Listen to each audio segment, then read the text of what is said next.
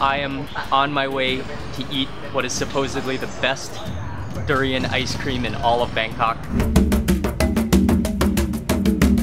My girlfriend read on a Thai forum that everyone who ate this ice cream simply had to order a second one immediately after eating the first one because it's so irresistibly good. So let's go find out right now.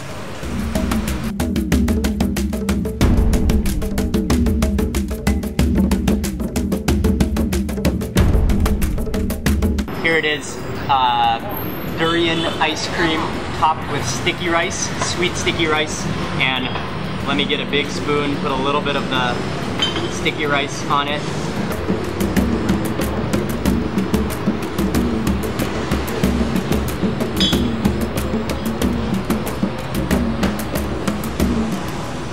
Oh, that is, wow, that is, I'm speechless. That's unbelievable.